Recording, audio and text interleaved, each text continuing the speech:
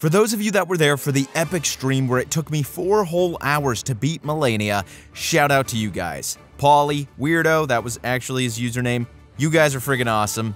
It was a struggle from start to finish with an extremely satisfying conclusion, really like no other. Fuck! Yes! If you guys are trying to catch moments like these live, make sure to subscribe to the channel and ring that bell so you catch me on YouTube next time I'm streaming. With that being said, I have some things to say about this boss fight and the surrounding area before you even get the honor of fighting Malenia, Blade of Miquella.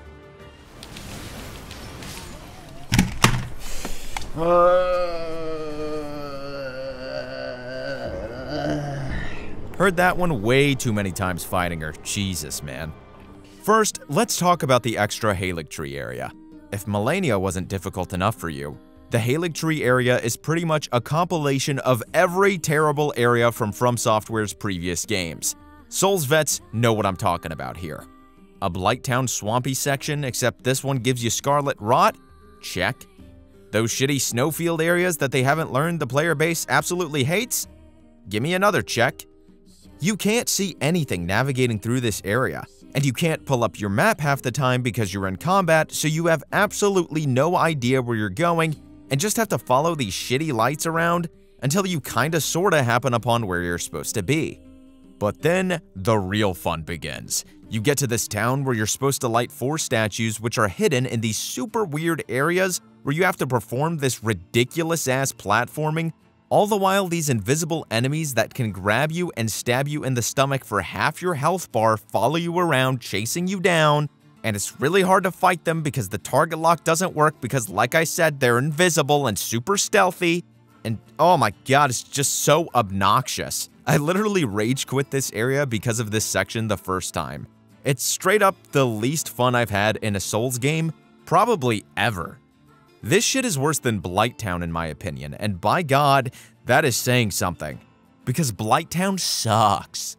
Like a lot of things in this area, it just had me questioning. Did this really have to be here? Couldn't they have just done away with this and let me pass through the barrier without me having to do this arbitrary task that's clearly here just to waste my time? Not to mention the platforming sections on these narrow-ass tree roots, man. Why did they think this was a good idea? I'm not playing Elden Ring to play through these platforming sections, man. If I want to do platforming, I'll go grab my N64 and boot up Super Mario 64 for some good old-fashioned gaming, okay? I play Elden Ring for the epic boss battles, the epic scenery, the epic loot, the cool builds, not this bullshit. The platforming is not Elden Ring's strong suit at all, so I hate that they really started to push these stupid sections on players just because of the inclusion of a dedicated jump button.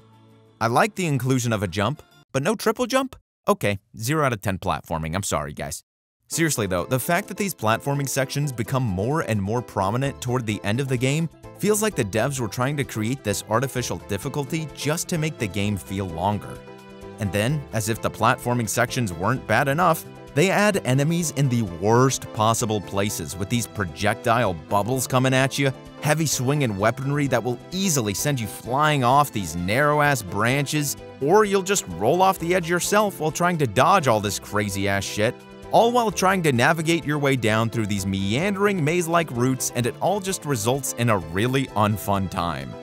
Thankfully, it gets better once you're able to make it most of the way down, and they kind of finally chill out on the platforming.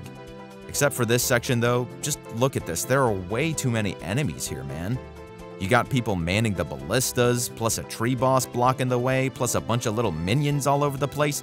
It's just really tedious to get through this area, so the best strat is really just to run through them and grab the Site of Grace whenever you can. Now, once you're through all of that mess, you finally get to fight Malenia. And man, I knew this boss was about to be something else, because I gotta say, the area is nothing in comparison to how hard this boss is. On the one hand, she's such a spectacle to fight. Her design is freaking badass, and I love how her prosthetic clinks with certain attacks to help indicate what move she's about to do, so that you can anticipate it and dodge accordingly. What I'm not kosher with is her ability to lifesteal. That is the most bullshit mechanic of any Souls boss, and I will not have anyone in the comments say otherwise. She will literally steal health from you with each and every hit. And we're not just talking little itsy bitsy pixels of health, no. We're talking chunks. And with how many hits she can get on you in succession, you can be down half your flasks while she's still sitting there at full health, making your attempt completely worthless. First thing you need to do to fix this boss is get rid of her lifesteal ability. Straight up. Or at a minimum, make it so that when you block her attacks, she doesn't gain her health back. Because that just absolutely just doesn't make any sense. It's bananas. Now, I didn't use ashes during this fight. A lot of you on my previous video on the endgame bosses commented that ashes are a big help and a useful tool to get you through some of the more BS encounters like Godskin Duo and Maliketh and so on. Which I would agree, but the problem is I never had enough FP to summon any of the more useful summons, and I neglected to upgrade any of them throughout my playthrough, so my summons were practically useless anyways. Still though, I never liked using summons during the boss fights anyway personally, it's just a personal preference. Yes, I made it harder on myself, but that's just how I like to play Elden Ring. The whole reason I'm talking about summons though is with Malenia, using them is a detriment to you. Wanna know why? She can lifesteal your ashes as well, to the point where fighting her on your own is a better idea. Talk about a horribly designed boss, sheesh. The summons, which everyone uses as a crutch for some of these badly designed boss fights, literally can't be used here, because she'll just lifesteal them instead of you. Now, if her lifesteal ability weren't bad enough, her waterfowl dance is by far the most foul thing that will get you killed the most. The startup on it is so quick that it's hard to react to. The only way I ever figured out how to dodge it was to have some actual distance between us when she started up her attacks so that I could run away from her first two strikes, roll into the third, and then roll away from the fourth.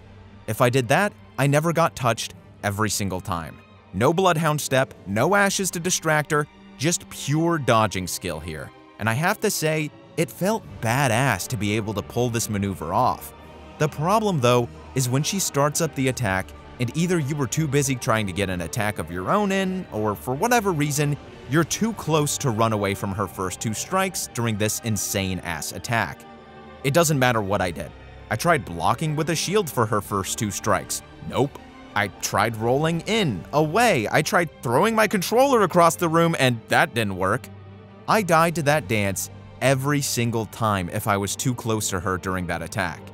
Now, you can stop her from doing it with a freeze pot apparently during her startup, and I tried it to no avail. My throwing skills suck apparently. Still though, just because I couldn't get it to work doesn't mean this isn't a good way to balance this move out a bit. It just sucks that you can only carry three of them at one time, so if you miss any or if she does it more than three times, you're pretty much shit out of luck. For me though, I found it to be way more efficient to just dodge when I was at a proper distance. This worked way more consistently for me, and I think the way to fix this move is give more time for the player to get some distance before she starts her attack up. Again, every time I was able to get some distance between us, I never got hit.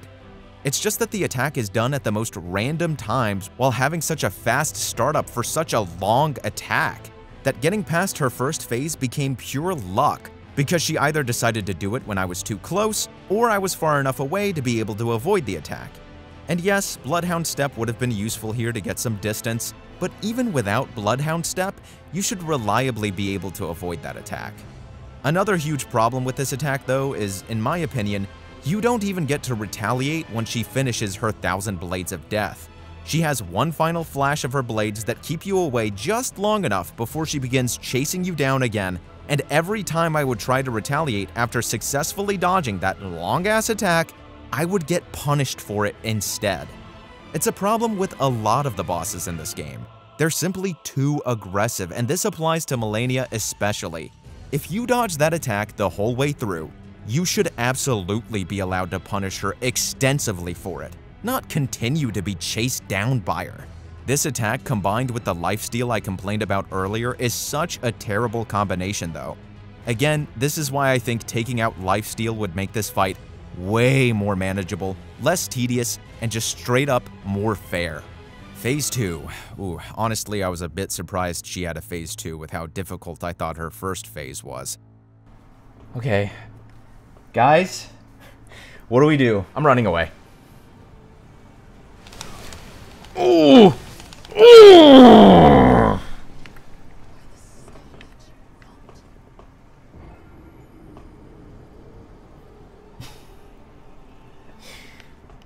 Actually fucking hurt me, dude. Thankfully, though, I don't have too many complaints here. Her first phase is very much like her second phase, so if you can beat phase 1, you can definitely beat phase 2. Except for this attack, holy shit, I didn't know she knew Shadow Clone Jutsu, goddamn! Her waterfowl dance here is just as BS. Honestly, I don't even know how I was able to beat her second phase. Granted, it's very similar to the first, she's just a lot more aggressive and in your face and, and a little bit tougher to avoid. Looking back at my attempt, I think, by the grace of God, she never ended up using her waterfowl dance on me during that portion of the fight, which is just another reason why I think this fight isn't so much about skill more than it is about luck. I had her download at 50 attempts before I had beaten her. It was more so just about getting the right RNG on some of her moves to where I wouldn't be caught in a shitty position whenever she did her thousand blades of bullshit, or she just straight up wouldn't use her waterfowl dance like in the attempt I finally beat her in. So if From kinda tweaks those two things, the lifesteal and her waterfowl dance, I think it'd be a damn near perfect fight, because even with those two rather huge annoyances, I still felt like I overcame this immense challenge when I finally took her down, and that's what playing these games is really all about. But, you know, man, screw my boss analysis. The real way to fix this boss is to just summon Let Me Solo her and let him defeat the boss for you, okay? Anyway, that's going to be the end of this one. I hope you guys enjoyed the video, and I think this will be the start of a series where I go back and review significant bosses within Elden Ring and give my thoughts on their design and just generally the way the fight plays out. If you guys would be interested in that, be sure to like and subscribe and leave a comment down below letting me know what boss you would like to see reviewed next. Otherwise, Malenia, Blade of Miquella is gonna come waterfowl dance you through the screen, okay boys? I don't know, I'm a little too close. Yep. It's okay, just don't freak out. That's it. Alright, we're good. You don't quit, man. You really just don't ever stop.